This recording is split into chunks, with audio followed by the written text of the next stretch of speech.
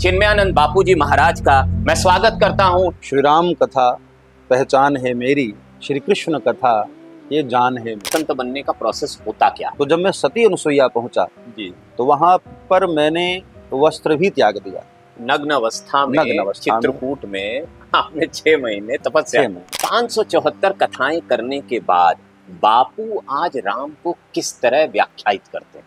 भगवान राम का नाम जुबा पर आता है और आँखें भरने लग जाती हैं। ये जो शब्द है राम ये शब्द को थोड़ा व्याख्या करिए। राम वो हैं जिनके एक रोए में करोड़ों ब्रह्मांड हैं और एक रोए से करोड़ों करोड़ों ब्रह्मा करोड़ों विष्णु करोड़ों महेश प्रकट होते हैं। रावण जलाया नहीं जा रहा है और अब तो ऐसे मंदिर हैं मतलब समाज में एक विभक्त तरह का विचार आ रहा है। ब्राह्मण था बहुत वो था। बुराई कितनी भी महान हो जाए बुराई कभी भी स्वीकार्य नहीं होती है। रावण ने भी दस बार अपना सिर काटकर शिव जी को चढ़ा दिया फिर भी रावण समाज के लिए आदर्श नहीं हो सकता है। एक विमर्श समाज में आजकल ये चला है कि राम ने कभी सीता का परित्याग ही नहीं किया।